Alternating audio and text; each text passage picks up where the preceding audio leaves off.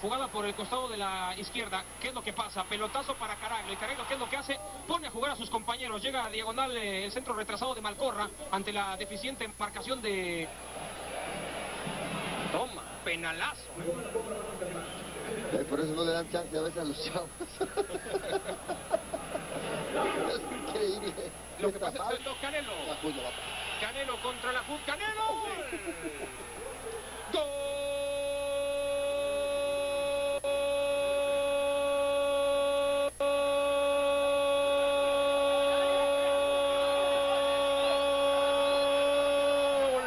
¡Del Puebla! Apareció Canelo. Un derechazo de campeonato, de knockout. ¡Pum! ¿Qué hizo Canelo? El 6 de mayo contra Junior. ¿Cómo hay que cobrar los penales, señor Martinoli? Apunta a un lado, le mete el empeine. De esta forma, empareja el marcador. ¿Qué nos querías comentar, Campos, sobre lo de Arriola, sobre, No, no, sobre le- les comentaba que es por lógica, si yo estoy marcando, yo sé que viene atrás uno. ¿Para qué espero la pelota? No, no puedo esperar la pelota porque sé que el, el centro delantero viene por la pelota, la quiere, la quiere reventar. Corre mal y llega Ovirán en el segundo.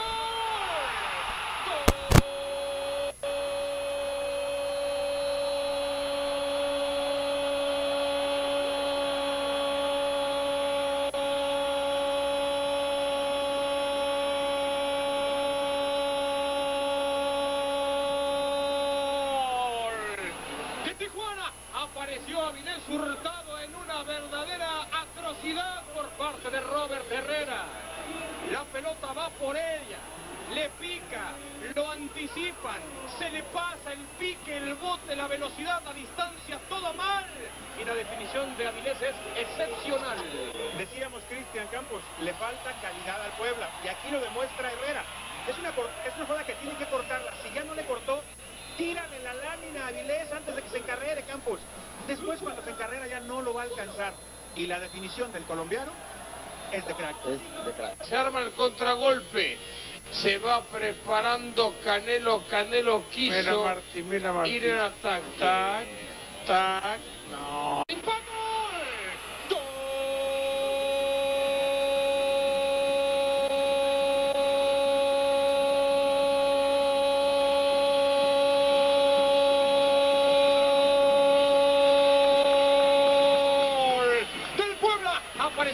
Patricio Araujo de sorpresa por detrás. Hubo el rebote, llegó y dijo para adentro. De primera Johnny. Johnny para adentro. ¡Pum!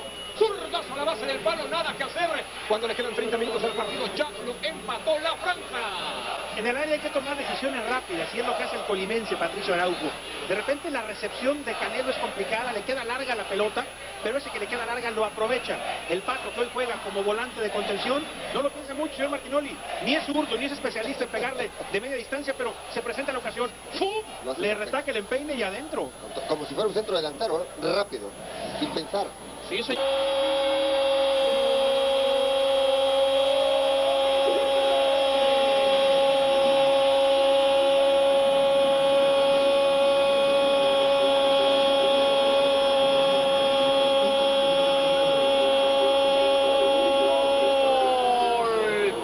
El cholaje apareció Arreola, la agarró sabroso, la puso pegada al palo de la derecha por encima del guardameta Campestrini. Lo del Puebla, qué malaria. Empata 1 a 1, pim, al minuto 2 a 1. Empata 2 a 2, tac, al minuto 3 a 2. ¿Qué reclama Baliño que está como loco Alvarito? En cuanto cayó gente dentro del área antes de que Arreola golpeara la pelota, tanto Villaseñor como Meone pedían una falta. También el técnico, cuando cae el gol, de inmediato se le pone encima al cuarto árbitro insistiendo que esta anotación está precedida de una infracción.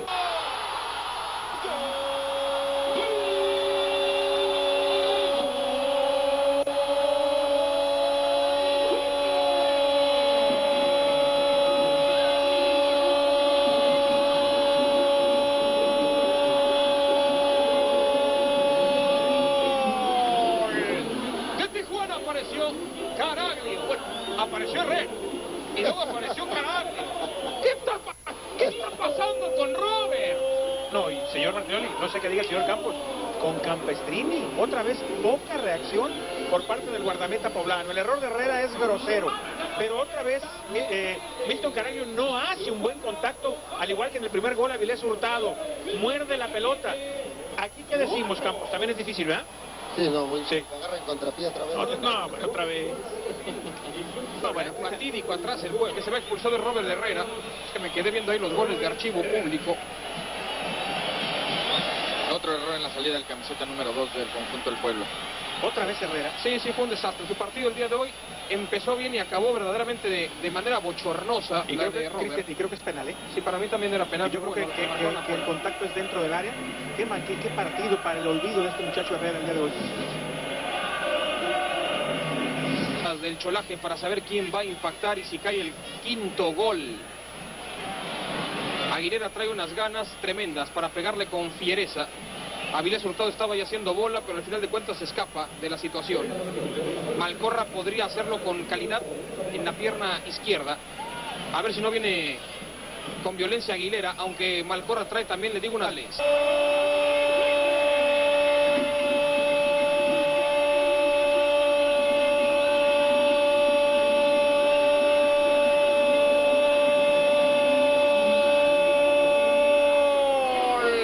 de Tijuana. Apareció Malcorra y coloca el quinto gol para el conjunto del Cholaje, 5 a 2.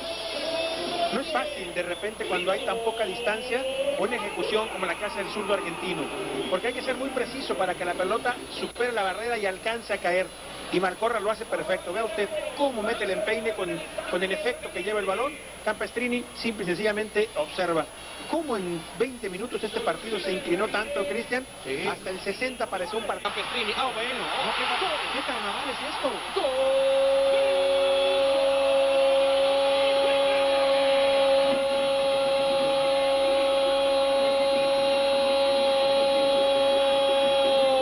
Gol en Tijuana, Corona.